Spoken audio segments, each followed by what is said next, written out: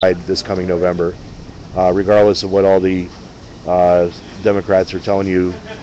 Uh, Romney really is he's behind eight points in the polls already, uh, and even uh, even with uh, and it seems like his vice presidential nominee Paul Ryan is even less popular, and his policies are even less popular among the American electorate.